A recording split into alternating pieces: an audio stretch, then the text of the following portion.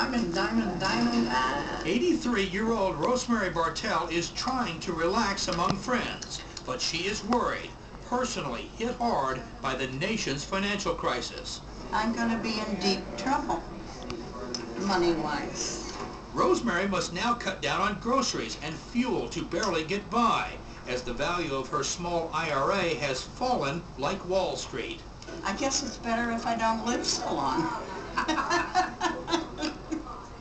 Around the country are being forced to make the same painful choices.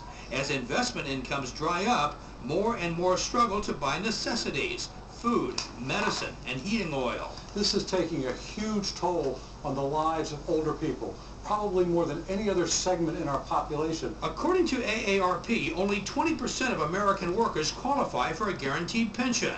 Seniors living on investment income don't have the luxury of riding out the downturn. For many older Americans, the current financial crisis is the last straw, convincing many who thought of retiring to keep working and forcing others who already retired to go back to work. 73-year-old Michael Diacunti returned to work, this time as a bus driver. He actually has a post office pension, but even with that, he struggles. They fundamentally agree. At financial planning offices, though, many older clients say while frightened, they still have faith in a recovery. They still believe that the U.S. is is capable of getting us through this.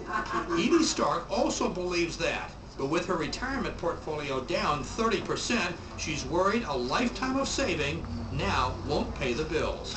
Mark Potter, NBC News, Miami.